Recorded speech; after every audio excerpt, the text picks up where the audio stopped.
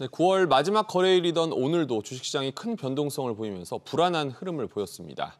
코스피는 이제 2100선 사수도 걱정하는 상황으로 몰렸는데 문제는 앞으로의 분위기도 밝지 않다는 겁니다. 김기송 기자. 네, 김기송입니다. 증시가 오늘도 오르락 내리락 하면서 투자자들의 속을 시커멓게 태웠는데 변동성 얼마나 컸습니까?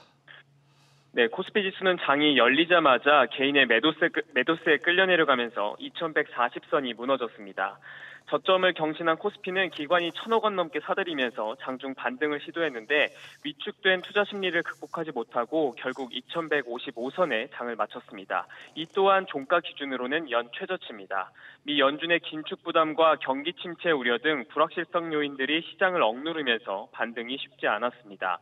코스닥은 0.36% 하락한 672선의 거래를 마쳤고 원달러 환율은 8원 70전 내린 1,430원 20전에 마감했습니다. 9월 한 달은 떨어졌다는 소식만 전해드렸던 것 같습니다. 그동안 한 달 동안 얼마나 빠졌고 또 앞으로 전망은 어떻게 나옵니까? 네, 이달 들어서만 코스피는 13% 가까이 빠졌습니다.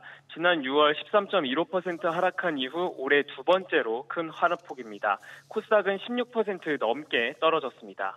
매파 기조를 고집하는 미국 정책에 전 세계 통화가 약세를 보였고 경기 침체 우려로 미국 기업 실적에 경고 등이 들어온 영향이 컸습니다.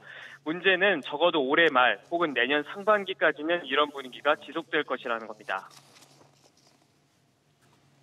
영국 파운드화발 아, 뭐 외환위기라고 표현될 정도로 외환 시장이 흔들렸던 게 하나 있었던 것 같고 테슬라와 애플까지 실적 둔화 리스크가 부각된 거 이 두 가지가 아마 해소가 되어야 혹은 완화가 되어야 시장이 반등이 나올 수 있을 것 같은데 네, 다만 세계 국채 지수에 한국이 관찰 대상국으로 이름을 올리면서 외국 투자 자금이 최대 90조 원 가량 유입될 것으로 기대되고 있습니다. SBS 비즈 김기송입니다.